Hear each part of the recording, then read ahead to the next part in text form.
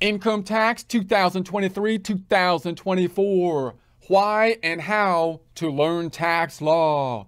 Get ready and some coffee because we're going to stop the tax man in his tracks with income tax preparation 2023 2024. Whenever learning a new topic, the first question that comes to mind is why? Why learn tax preparation? Why learn tax law? And the response which gushes out of every American heart, every American soul, is to save money from the dumpster fire that is government spending, pulling her into the promised land of the private sector where she can grow, where she can flourish, rather than being burnt as a sacrificial offering to the gods of big government boondoggles.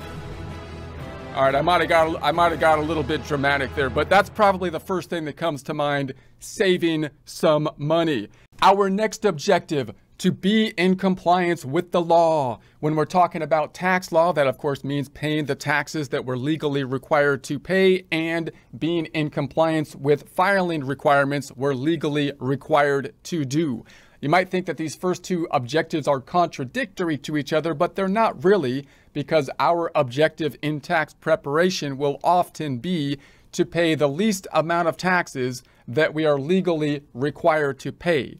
Because of the complexity of the income tax system, it's quite easy to accidentally pay more taxes than you're legally required to pay, which means that you've sacrificed more of that money to the dumpster fire of government spending and government boondoggles. And is it likely that you're going to be getting that money back? Probably uh, not. So our objective is, is to get it right the first time. Now, you might argue about whether or not you agree with you know, particular tax laws, and we'll talk a little bit more about this in a second.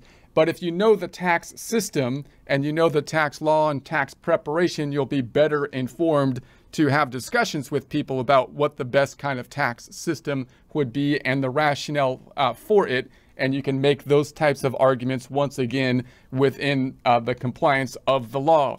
You might also be learning taxes because you want to be in business doing tax preparation in some way, shape, or form. If that is the case, then I would think that you would want to narrow down your focus to think about what that exactly looks like. Oftentimes, I find that when we think about goals, we have a very broad type of idea of the goal, which we really need to narrow down into particular steps so that we can go onto an objective that we can actually achieve. So for example, first a word from our sponsor.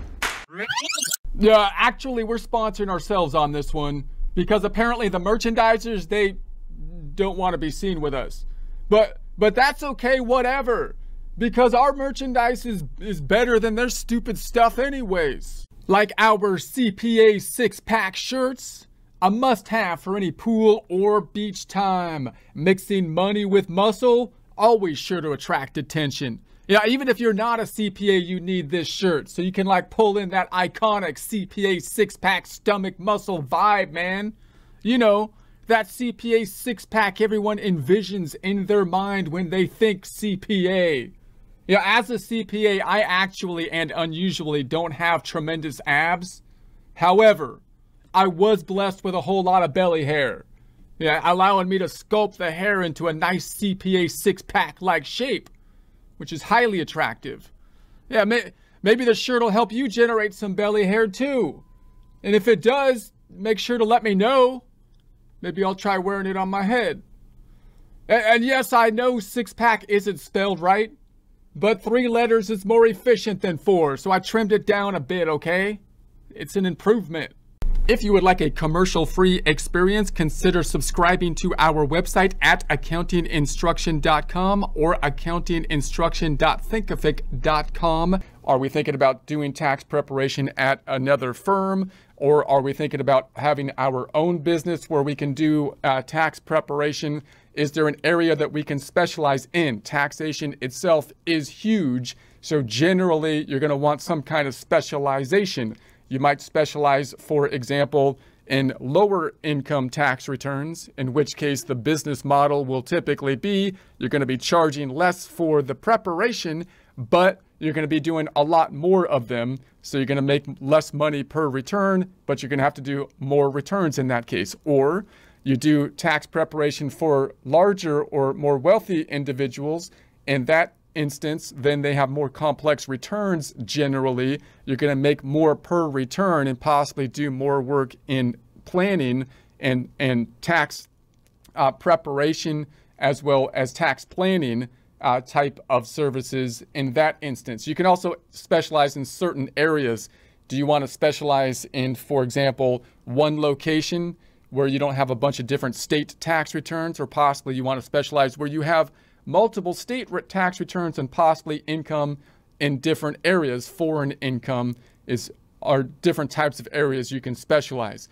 You also might be more interested on the business side of things versus the personal side uh, of things, doing business tax returns, tax returns that have a Schedule C for sole proprietorship or an S corporation flow through entities like an LLC or corporate uh, type return, partnership uh, type of returns. Oftentimes, people with accounting backgrounds like myself tend to enjoy that side of things because you get to use more of that, you know, the double entry accounting system.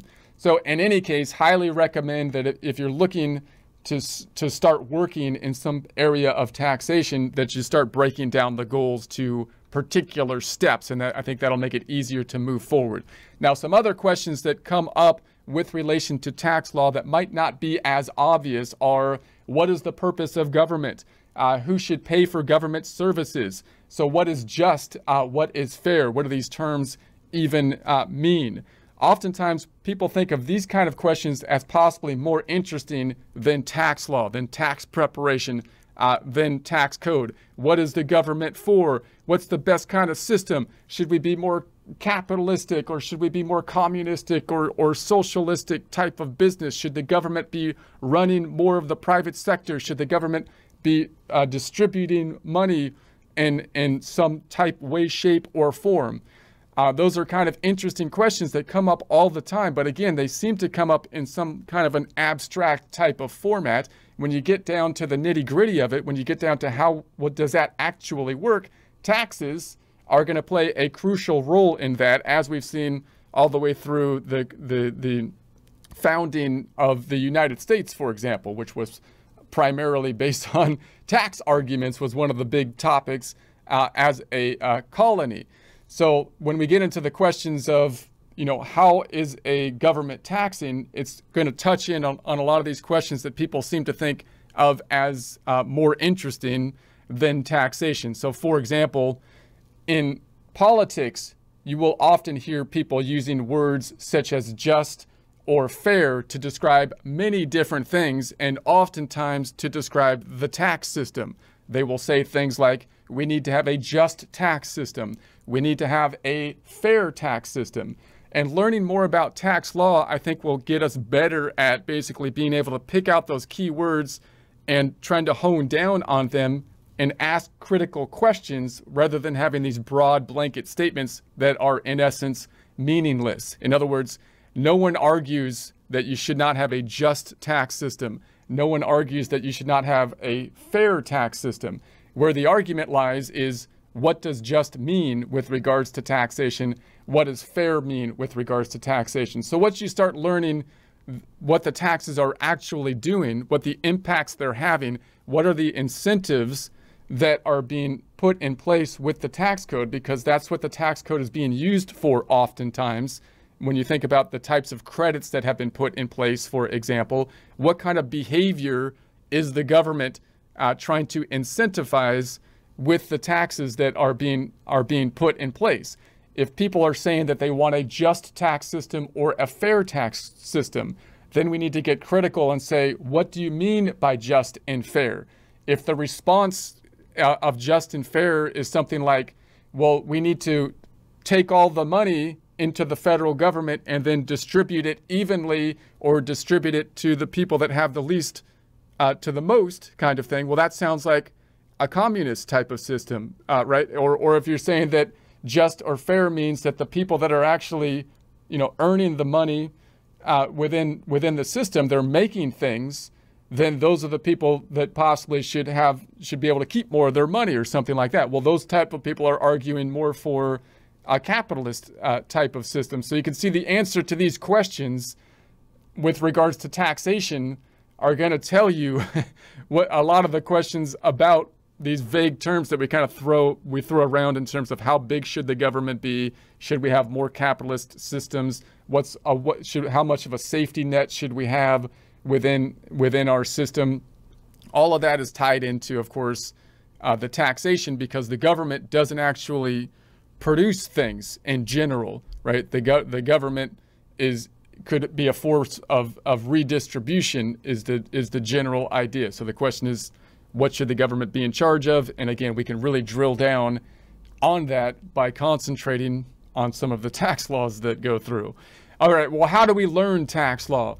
So you're gonna you're gonna want to question the law, you're gonna want to reason with it, you're gonna want to debate it. In other words, you don't really want to learn tax law or anything by just trying to rogue memorize it. You don't just you're not going to be able to just repeat the tax law enough times so that it's stuck in your head by repetition. It's too big of something uh, to be able to do that. And even if you were able to do that, you don't really develop any conceptual understanding of the tax law because oftentimes there's there's gray area, just like uh, with any type of law. And when you're learning anything, the general uh, idea of learning it is going to be tell a story about it. And even when you're talking about learning a series of numbers, then oftentimes if you can break those numbers into a pictorial format, you can make a picture, you can you can link the number to an image and then make a story about those images. That's going to help you to basically remember just even a series of numbers. So just from a practical standpoint, when you're learning the tax law for whatever you want to do, you want to make a story about it. Fortunately, the tax law already has a story because everything that the tax law has been put together, someone put that together because they thought it was a good idea, right? They've been arguing. It's a, it's a process that came out of, a, you know, a, a, the creation of the law. Arguments have happened, and this thing uh, came out of that. So the question is, you can ask questions like, well, what were they thinking when they put this law in place? Do I agree uh, with the law that was put in place? Now that this law is put in place, what are the incentives that that's going to have? Is that going to incentivize people to grow the economy? Is it going to incentivize people to reduce the economy? Is it okay that the economy is being possibly depressed in some way or reducing GDP if we can get a more even distribution through redistributional policies and th- these kind of questions are things that you will see if you if you start looking at the at the tax law. And it's just like any kind of text that you engage with. If it was like a philosophical text or something like that you're going to be reading it and say why why does this person think that? You're going to like debate and and you don't just like just read it and just kind of take it in. Well that's what that person thinks. I'm not going to question it. Or uh, if you're if you're looking at books like the Homer or Shakespeare or something, you're going to be asking questions like, well, why did Achilles do that? He's acting like a baby. I don't know what he's doing over here. You're going to, you know, you're going to question the, the motives of the characters. Well, the characters in tax law are the people that put in the law. And so we can we can basically ask questions in terms of why those laws have been put in place. And then and then that will help us at least with the memorization of it it will also help us to engage it when we're actually trying to do things uh, with the law. And if we have clients or are working with people that are interested in, in the law, you have something to actually talk about. You can give some opinion as to not just what the law says, but possibly what the incentives or motives were behind it.